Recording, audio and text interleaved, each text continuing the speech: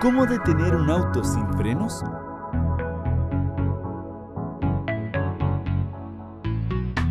No entres en pánico. Una reacción exagerada en esta situación solo hará que sea más peligroso.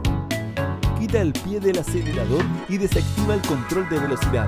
Este último debería apagarse tan pronto como toques el freno o el embrague, pero para estar seguro, asegúrate de que esté apagado.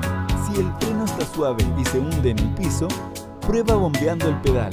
Si el freno está duro y no se mueve, debe haber una falla o tal vez tengas una obstrucción bajo el pedal. Bombea tus frenos. El bombearlos varias veces puede reconstruir suficiente presión en el sistema de frenos para detenerte. Baja la velocidad.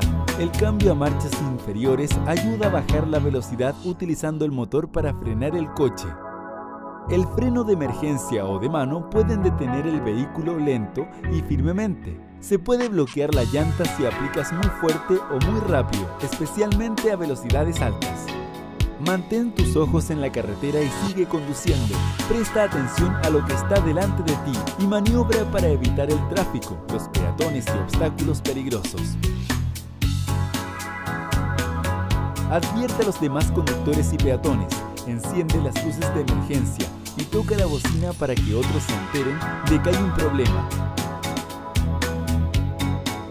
Si hay espacio a los lados, gira el volante de manera brusca de lado a lado gira el coche crea fricción, la cual disminuye la velocidad de tu coche naturalmente. Derco Center. Si te gustó este contenido, suscríbete a nuestro canal. Subiremos nuevos videos cada semana.